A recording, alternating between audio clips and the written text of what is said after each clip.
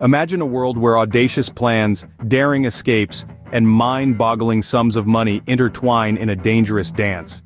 This is a world where billions are stolen in heists from the globe's most secure banks, fast-moving trains, and diamond industry. There's no safe place from the cunning and tenacity of notorious thieves. Their audacity, matched only by law enforcement's pursuit of justice, creates a thrilling saga. The stage is set for a grand showdown, a cat-and-mouse game where the stakes are high and the consequences even higher. This is not just about money but about the thrill, the chase, the escape. And you are right in the middle.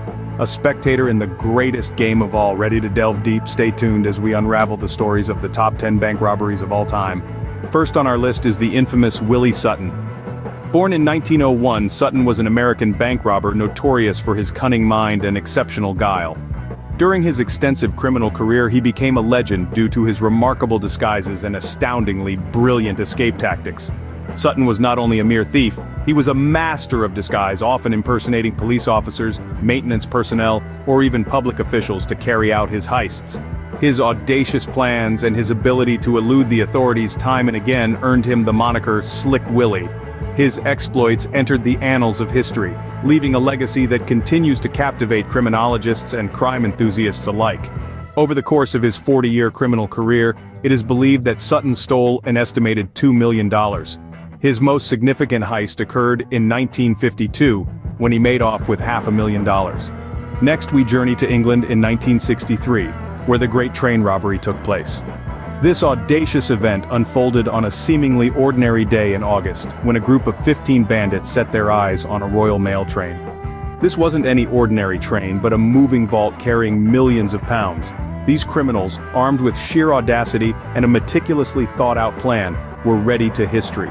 The conspirators had a diverse range of skills, from safecracking to getaway driving and a shared dream to pull off the unthinkable.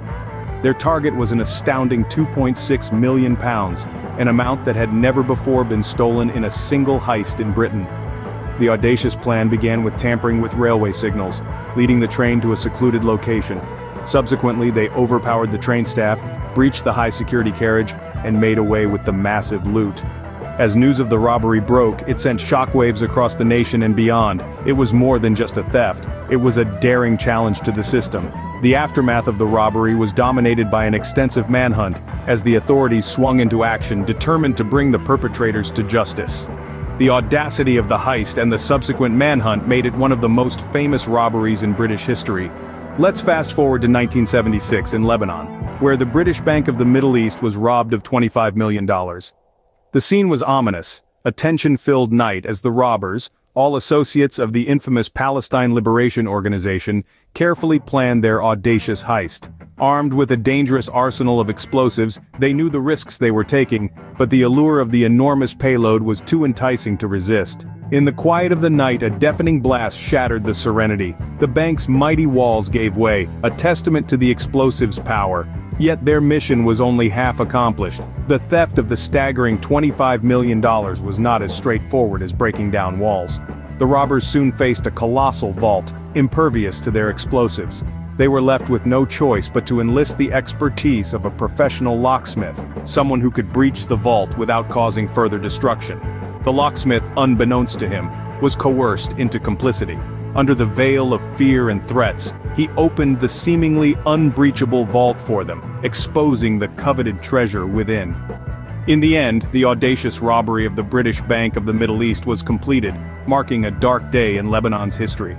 The robbers, associated with the Palestine Liberation Organization, used explosives to break into the bank and then enlisted the help of a locksmith to open the vault. In 1983, the Central Bank of Iraq was the subject of one of the most audacious bank heists in the annals of crime. This was not your typical robbery with masked men rushing into a bank guns blazing. No, this was a more sophisticated operation. The orchestration was of such a magnitude that it wasn't exactly a run-of-the-mill heist. It was an operation that was led by a man, a man of immense power within the country. The architects of this heist were not ordinary criminals but men who held the highest positions of power. The mastermind behind this grand scheme, this grand theft was none other than the country's president Saddam Hussein, no simple thief, but a ruler who dared to steal nearly $1 billion. The turn of the millennium brought with it one of the most audacious heists ever witnessed. This was not some ordinary crime. No, this was a feat of criminal genius that would go down in history books as one of the most daring and audacious capers ever to be enacted.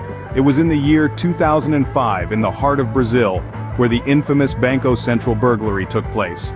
This audacious burglary was not the work of a spur-of-the-moment plan, but rather a meticulously planned operation. A of criminals whose names remain shrouded in mystery had rented a house not far from the Banco Central, an official monetary authority. They spent three months burrowing a tunnel of about 78 meters in length and approximately 70 centimeters in diameter from the house to the bank's vault. This was no ordinary tunnel, it was a marvel of illicit engineering, equipped with lighting, air conditioning, and even a railway system for shifting the loot. The tunnel ended up right beneath the bank's vault, a place that held a treasure worth a king's ransom. The criminals, displaying an audacity that was both shocking and awe-inspiring, managed to make off with over $70 million. This grand larceny showcased a level of daring and ingenuity that is rarely seen even in the world of crime. The Banco Central burglary in Brazil in 2005 saw a group of criminals dig a tunnel from a rented house to the bank's vault, stealing over $70 million. Now we move on to the United Bank of Switzerland in 2007, where a gang of thieves stole $64 million worth of diamonds in a meticulously planned heist. This tale of audacity and precision is one for the history books. The bank, known for its high security and prestige, nestled in the heart of Zurich, was targeted in a daring operation that left the world in shock. The thieves, armed with nothing but cunning and courage, were meticulously methodical and disciplined. Every detail of their plan was carefully thought out. They knew the blueprints of the bank like the back of their hands, having spent countless nights memorizing each corner and curve. The diamonds, nestled securely in their vault, were valued at an astonishing $64 million. The thieves had their eyes on this hefty jackpot, ready to risk everything for a chance at unimaginable wealth. The heist took place under the cloak of darkness with the thieves relying on stealth and timing to avoid detection. They maneuvered through the bank's labyrinth-like interior, avoiding security measures with calculated ease. With the swiftness and precision of a surgeon performing a delicate operation, they breached the vault, making off with the glittering spoils. The aftermath of the heist was a scene of bewildered chaos, as bank staff and authorities grappled with the audacity of the criminals and the flawlessness of their execution. The investigation that followed was intensive and far-reaching, but the thieves had vanished without a trace, leaving behind only a legend of their audacious act. The event would forever be marked as one of the biggest heists of the decade, raising questions about the security measures of even the most trusted financial institutions. The audacious act proved that even the most fortified fortresses could be penetrated by those daring enough to test their defenses. A gang of thieves stole $64 million worth of diamonds in a meticulously planned heist. In 2008, something extraordinary happened. The Dar es Salaam Bank, a well-respected financial institution located in the heart of Iraq, was subjected to a theft so audacious that it shocked the entire nation and sent ripples out through the global banking industry. The thieves didn't use a sophisticated plan, there was no high-tech gadgetry or fast getaway vehicles involved. The protagonists of this story were not typical robbers wearing ski masks and wielding weapons. Instead, they were insiders, employees of the bank itself. Their positions, they were trusted guards, individuals who were expected to safeguard the very thing they stole. Their loot was not a few thousand or even a few million. It was a staggering $282 million, an amount so enormous it is hard to fathom. They didn't need to break any vaults or bypass any security systems, they simply performed their regular duties with a hidden agenda. As the day came to an end, they walked away, slipping through the city's bustling streets unnoticed. They disappeared into the crowd, leaving behind a trail of shock and disbelief. While the bank scrambled to figure out what had happened, the culprits were long gone. The scale of their audacity was breathtaking. They were insiders, two guards who simply walked away with the money. In 2009, the Banco de la Nación in Peru stood as a symbol of wealth and security. Towering over the city, it was an institution that held the trust of the Peruvian people. Nestled within its fortified walls lay millions of dollars, the life savings of many, the capital of businesses, and the financial backbone of the nation.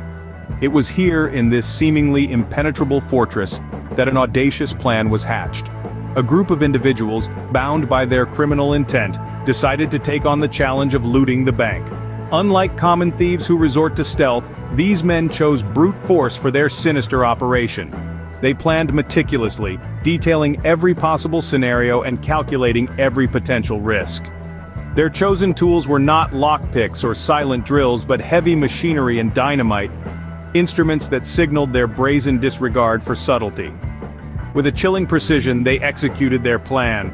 The city awoke to the thunderous sound of the bank's vault being blown open.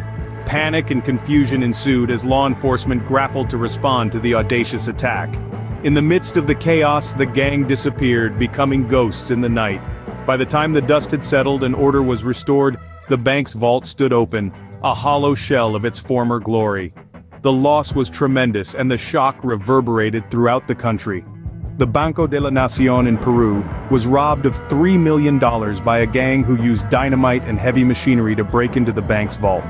The year 2013 marked an extraordinary event, as it saw one of the largest heists in history, a heist that occurred at the Antwerp Diamond Center in Belgium. This was no ordinary theft. The audacity, the sheer scale of it left everyone baffled. Nestled in the heart of Belgium, the Antwerp Diamond Center was renowned for its security measures, making it a formidable fortress that was supposed to be impregnable, a safe haven for precious gems. Yet, a group of daring thieves managed to bypass the elaborate security system. They maneuvered their way into the vaults, which were believed to be impenetrable, this was not a random act, it was an intricately planned operation, executed with precision and perfect timing. The loot was staggering. Diamonds, rubies, sapphires, and emeralds, each stone contributing to the astronomical sum of the robbery. A crime scene investigation was initiated and yet, the thieves slipped away, disappearing into the night with their bounty. The world's eyes were on Belgium that day, as it witnessed a diamond heist like no other the audacious thieves stole over $100 million worth of diamonds and other precious gems.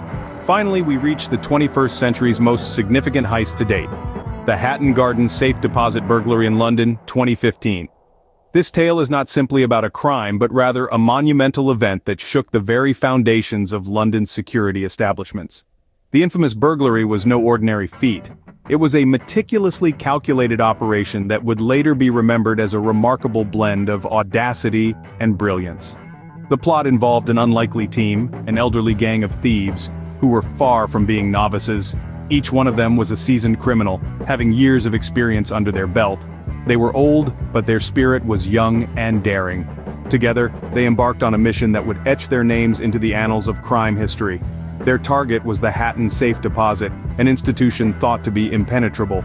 The vault, protected by multiple layers of high-end security, was believed to be an unassailable fortress. Yet, these senior thieves managed to find a flaw. Using a diamond-tipped industrial drill, they bore their way into the vault. The sound of the drill boring into the thick walls echoed through the quiet night, marking the success of their audacious plan. The loot was beyond imagination, it was an astonishing assortment of riches, an estimated 14 million pounds in cash and jewelry. The elder gang had pulled off an unthinkable feat leaving London in a state of shock and disarray. In conclusion, these audacious heists have captivated the world for their sheer audacity and meticulous planning. Noted for their daring exploits, clever disguises and ingenious tunneling, these criminals have etched their names in the annals of criminal history. We recount the exploits of Willie Sutton, known for his cunning disguises, and the anonymous Banco Central burglars, remembered for their gutsy tunneling tactic. These tales of audacious robberies are indeed intriguing, uncovering the nerve-wracking, breathtaking and ultimately tragic lengths individuals are willing to go in the quest for ill-gotten wealth. Yet they clearly underline the negative consequences of such actions. Indeed, as the cliché goes, crime never pays. Thus, while we marvel at these tales, they provide a stark reminder of the lengths criminals will go to in pursuit of wealth. Crime, as they say, doesn't pay,